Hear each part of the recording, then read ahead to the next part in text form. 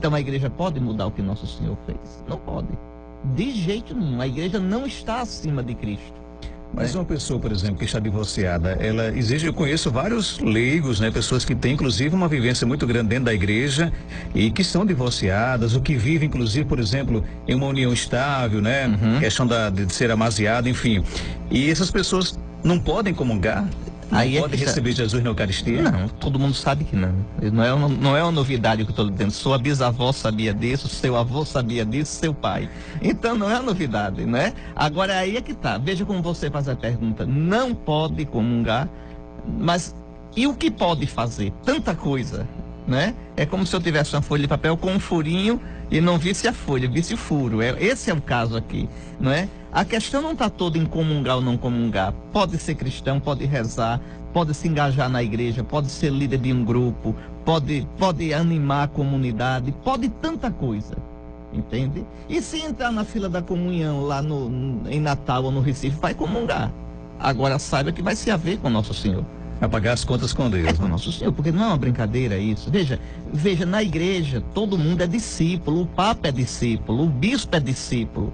Só tem um mestre, só tem um Senhor, é Cristo. Nosso Senhor me diz coisas que eu não gostaria. Se Nosso Senhor dissesse, Dom Henrique, me dê uma ajudazinha aqui, é porque Nosso Senhor não pede ajuda. A gente é que tem que pedir a Ele. Mas se Ele pedisse, pedisse, me dê uma ajudazinha aqui, alguma coisa que você gostaria que eu mudasse no que eu disse, seria essa. São homem, não mexa com esse negócio de casamento, não, que isso dá uma complicação danada. Mas Nosso Senhor não disse assim, né? Uma vez Pedro tentou, uma vez Pedro tentou discutir, discutir a relação com Nosso Senhor. A primeira vez que Jesus disse que o caminho dele iria para a cruz, Pedro estava com todo o cartaz. Pode olhar lá em Mateus 16. Pedro estava com toda a bola. Jesus, ele tinha acabado de dizer em nome dos doze: Tu és o Cristo. Jesus disse: Tu és bem-aventurado, Simão, e a partir de agora tu és Pedro. Veja, eu edifico a minha igreja, o que tu ligares na terra, deu toda a bola. Logo depois ele disse: Tudo bem, eu sou o Cristo, mas sou um Cristo que vai ser crucificado.